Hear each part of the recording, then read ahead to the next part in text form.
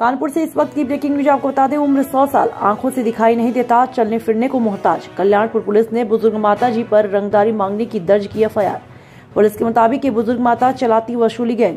भूमाफिया और कल्याणपुर पुलिस की साठ गार्ड से पीड़िता ने पुलिस कमिश्नर से लगाई गुहार। कानपुर से इस वक्त की ब्रेकिंग न्यूज़ हम आपको बता रहे हैं, जहाँ उम्र 100 साल, आँखों से दिखाई नहीं देता और चलने फिरने को मोहताज। कल्याणपुर पुलिस ने बुज़ुर्ग माता जी पर रंगदारी मांगने की दर्ज की एफ़ पुलिस के मुताबिक ये बुज़ुर्ग माता चलाती वसूली गैंग। भूमाफिया और कल्याणपुर पुलिस की साठ गार्ड से पीड़िता ने पुलिस कमिश्नर से लगाई न्याय की गुहार।